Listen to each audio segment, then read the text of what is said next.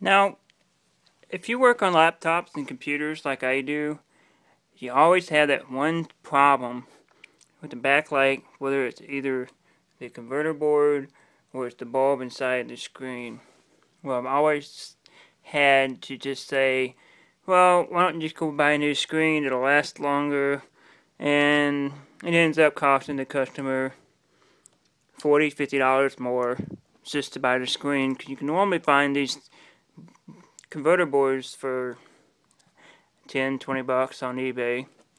Well i made an investment which this cost me around 15 dollars. And it comes with a plug. You can plug into a 12 volt. I'm using a just a power adapter for a linksys router. 1000 milliamps. They recommend 12 amp, uh, 2 amps, sorry, and which is fine for this. Comes with all kinds of different adapters, so you can adapt and connect to do what you need to do with different size connections.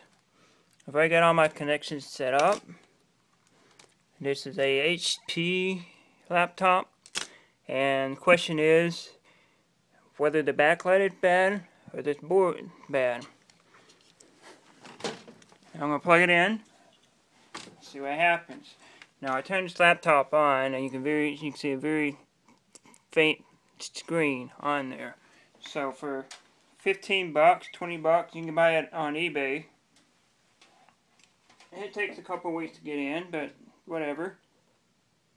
And there you have it. Now you know the screen is good. We just got to replace this board.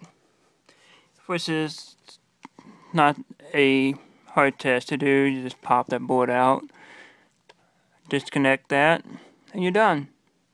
Get a new board, put it in there, and that's it. So thanks for watching. Go buy you something that's going to be an investment in your business. I'll see you next time.